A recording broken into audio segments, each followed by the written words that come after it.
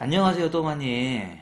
지금 생각해보면 영화에서 나올 것 같은 그런 사연이라고 생각이 듭니다.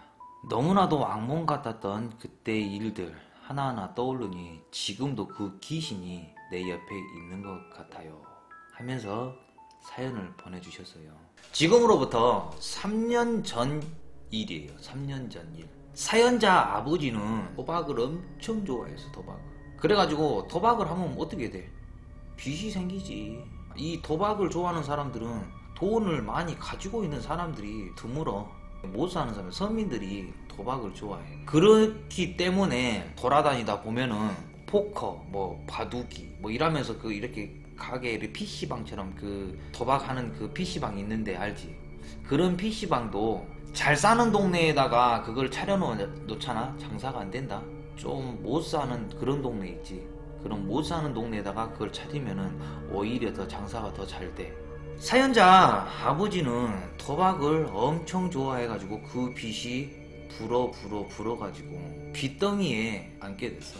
그 빚 때문에 그 사연자 집에 빚쟁이들 맨날 이렇게 쫓아와갖고 돈 내놔라 어째라 저째라 와갖고 막 물건 부숴불고 어쩔 때는 뭐 이렇게 완전히 등치 큰 사람들이 와가지고 집 막 다 부숴불고 응?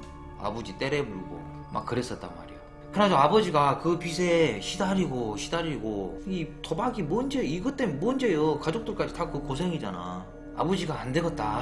안 되겠다. 우리 가족 내가 살려야지 나 때문에 이게 뭔 짓거리까? 하면서 야밤 도주를 하게 됐어. 이 사연자 가족은 아빠 엄마 사연자 여동생 이렇게 네 가족이었단 말이야 야밤 도주를 하게 되니까 짐을 챙길 게 뭐 있어.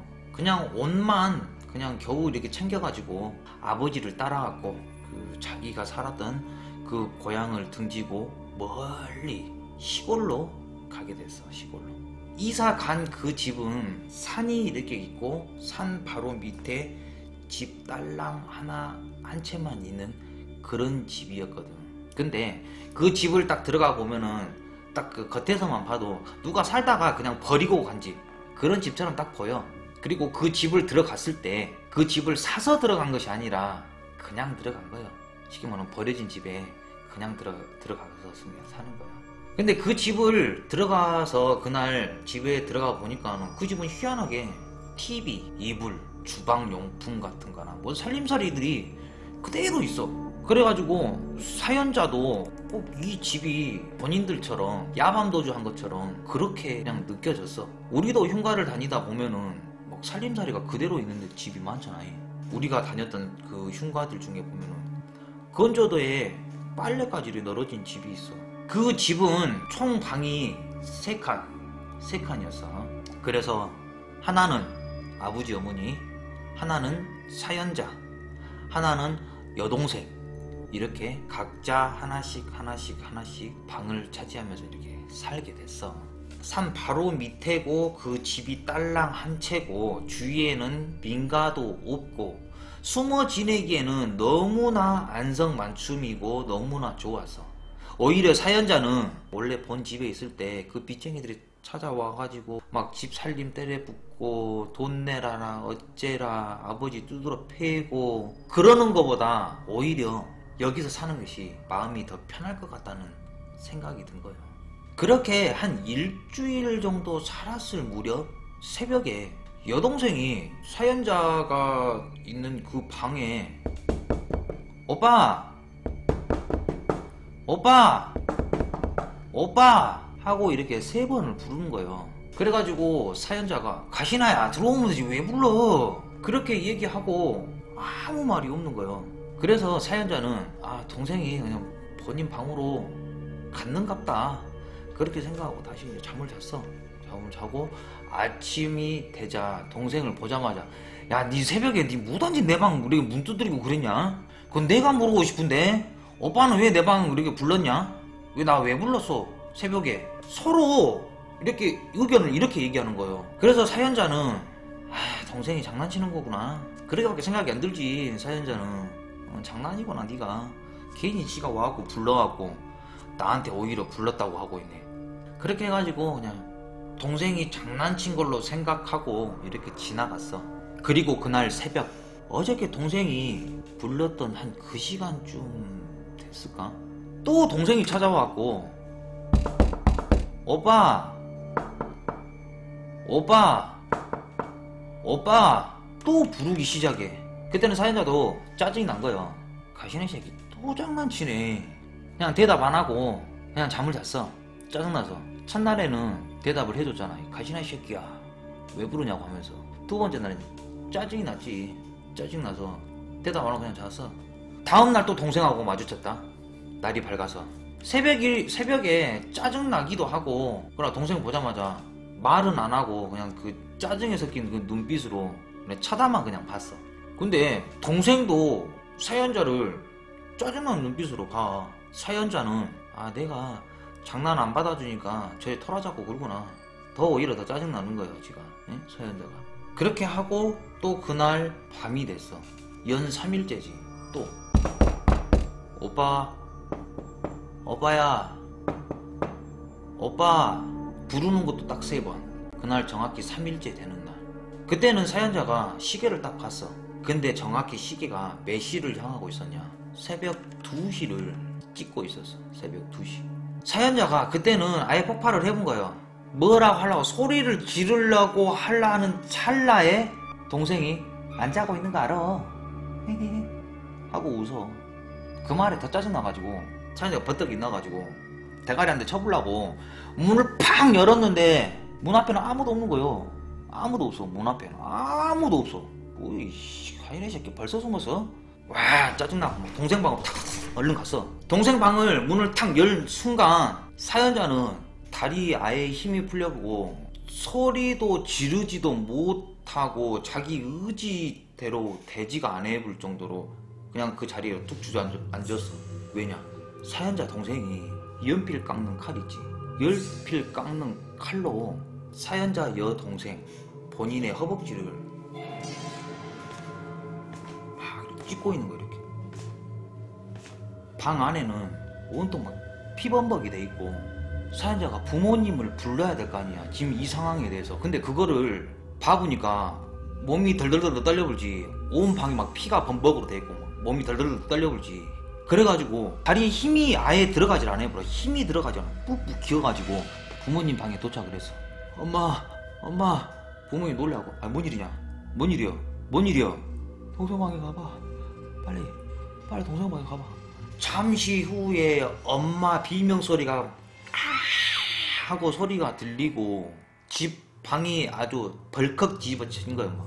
아빠 목소리가 소리가 들리고 악쓰는 소리에 사연자는 하, 내가 이렇게 있으면 안 되겠다는 생각에 빨리 정신을 차리려고 해가지고 겨우 겨우 동생 방을 갔어 갔는데 아빠가 동생이 갖고 있던 그 칼을 뺏으려고 그렇게 했겠지 그런데 뺏는 도중에 아빠도 그 칼에 베어가지고 손에 아주 피가 이렇게 막 질질질 흐르고 동생은 아까보다 몸이 아주 방 안에 사방대 피가 범벅으로 돼 있는 거예요. 그래가지고 그 칼을 뺏어 있는 상태고 아빠가 동생을 일 안아가지고 병원으로 가야 되니까 병원으로 가려고 차에 태웠어. 병원으로 막 이렇게 가는 도중에 엄마, 사연자, 아빠가 운전하고 사연자하고 엄마가 그 동생을 양쪽에서 이렇게 꾹 누르고 있었지. 근데 사연자 동생이 막 발버둥을 쳐. 그래도 막못 움직이게 꽉 잡고 있어. 막 발버둥을 치면서 이상한 막 짐승 소리 있지. 짐승 소리. 막 이런 짐승 소리도 막 냈다가 할머니 소리. 에이 그래 그래 꽉 잡고 있냐 더 잡아봐라 하면서 할머니 소리를 냈다가 너야 빨리 안놔안 놔둘래 안 놔? 하면서 갑자기 뭐 남자 목소리가 나불고 눈은 반탕으로 아예 뒤집어져 온 거예요. 뒤집어진 상태에서 막 그 소리를 막 계속 하는 거예요. 사연자는 남자잖아. 여동생 하나 이걸, 이걸 제재를 못 하겠어. 근데 그 힘이 얼마나 세분가 이걸 하지를 못해. 그래가지고 계속 이제 병원으로 가고 있는 도중에 저희 동생은 도착했을 때는 기절을 하고 의식이 없었어. 병원에서 이렇게 상처 났던 데를 치료를 이렇게 받고 병원에서는 입원을 하라겠지. 입원을 하라고 했는데 그날 오후에 퇴원을 할 수밖에 없었어. 왜냐? 사연자네는 돈이 없었거든. 아버지의 그 도박비 때문에. 나 동생도 오후쯤 되니까 정신이 제정신으로 돌아왔어. 그런 거 저런 것 때문에 퇴원을 해서 집으로 돌아왔지 그날 오후에. 근데 동생은 그 모든 일들이 기억을 하나도 못해. 단 일도 기억을 못해. 절대로.